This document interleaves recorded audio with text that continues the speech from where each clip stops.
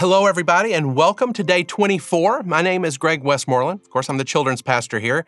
And today we've got a really fun lesson. Before I get into that, I want to go over a, um, a story. I want to share with y'all a story that happened to me just this morning I was over at one of our elementary schools and I was in a classroom and I was talking with the teacher and she uh, shared with me that she'd been a teacher for about 12 years.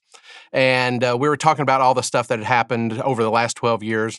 And I asked her, I said, if you could see everything your whole career in front of you, would you have still been a teacher? And she didn't even hesitate. She said, absolutely. And I said, why? There's there's so many things, uh, bad things that, that she had shared. And she said, because I love the kids. They're they're like my own, and and I now do anything for them. And that kind of rolled right into what I'm going to be sharing with y'all today. We're going to be talking about the choice that Jesus made to come to earth. And in the in the book that Doc wrote, he asked if you were in the womb and you had the choice to be born, you know, would you choose it? And we don't have that choice. Of course, none of us, I'm, I'm assuming none of us remember being born. My first conscious memory was breaking my nose on a coffee table when I was about four. So I was not given that choice, and and and we're born. We just are. Jesus had that opportunity. He saw his life all the way from from birth to death and beyond, and he chose to come to earth and be born anyway. Our scripture that I'm going to read from is in Colossians chapter 1 in verse 16. It says this. It says, "For by him all things were created in heaven and on earth, visible and invisible, whether thrones or dominions or rulers or authorities, all things were created through him and for him. That is establishing his godhood, that he wasn't just born as a baby, but he was God first, and then he came as a baby. And in verse 17, it says this And he is before all things, and in him all things hold together. And he is the head of the body of the church. He is the beginning, the firstborn from the dead, and that in everything he might be preeminent. This just establishes uh, his godhood, one verse after another. And when we think about his life and what he saw in advance, it just it it fills me with a new appreciation for him. I know at Christmas time we celebrate Jesus' birth, but what this lesson teaches us today is there more, there's more to it than that.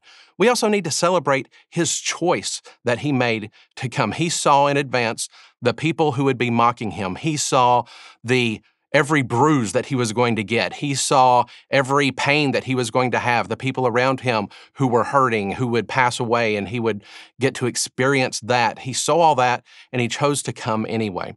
And he chose because he didn't focus on the bad or or what we would say you know he dies at the end a lot of people say at the end on that and jesus that was he knew that was not the end that was just uh, one part of his plan that had started all the way back uh, at the beginning of time and we talked about in previous days how god had been moving pieces around and getting ready for his plan and this was just another part of it and it was a wonderful part of it but jesus knew that uh, his birth was going to be a way where he could show people how to be a servant, and his death was going to be a way that he could forgive our sins and redeem us to himself.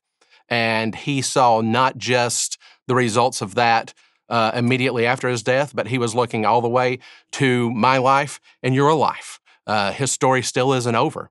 And so today we just want to focus on that and and and how amazing it is that Jesus came to be a perfect example of a servant and also as the perfect sacrifice so God could redeem himself uh, to us and uh, we could we could have a relationship with him and I'm so thankful for that.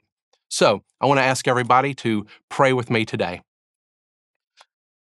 Dear Heavenly Father, we thank you for this time. We thank you that you stepped out of heaven, that you, being God and knowing everything, still chose to come and be born as a baby and live a life to sacrifice yourself to redeem us to you so we can have that relationship with you.